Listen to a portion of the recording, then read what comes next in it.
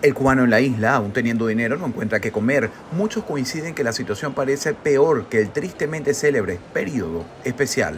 Ahora mismo yo tengo un paquete preparado para mandárselo a mi hermano, que es el único que tengo que vive en Pinar del Río. Y, y tengo que seguirlo ayudando, porque es mi hermano, es mi sangre. Según entendidos en el tema de Cuba, la economía es incongruente y fallida y sus pobladores viven prácticamente de los envíos de las remesas de sus familiares y amigos desde cualquier parte del mundo, fundamentalmente de Estados Unidos. Es mucho más fácil mandar dinero ahora que antes.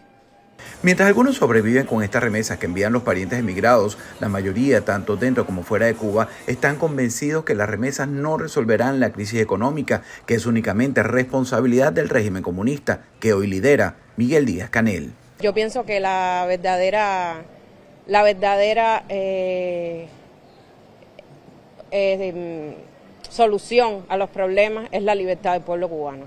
Nadie, nadie quiere abandonar su país, nadie quiere abandonar su país. Todo el que está haciendo algo acá eh, lo está haciendo para porque no le queda otro remedio.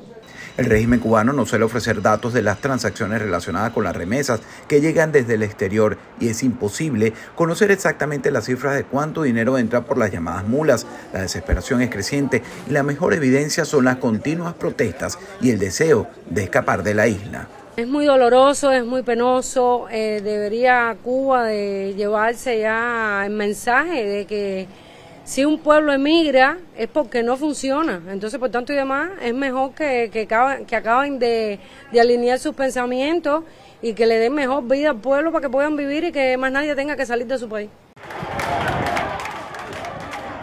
Las masivas protestas antigubernamentales de julio del 2021 marcaron una pauta que ha tenido ramificaciones. Este sábado 6 de mayo, otra con similares pedidos se escenificó en Caimanera, en el oriente cubano. En todos los casos, ha existido un denominador común, la brutalidad del régimen en un intento desesperado de la dictadura por acallarlas. Que siempre ha existido la misma represión esa, que no cambia nada, es una delincuencia, toda una mafia eso es lo que yo creo.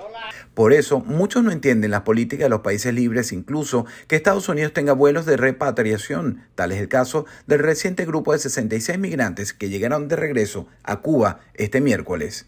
Son gente que van a ir para allá y que tienen allá, han vendido sus cosas, no tienen y van directo para una cárcel, van a ser más oprimidos. Alejandro Marcano Santelli, Radio, Televisión Martí.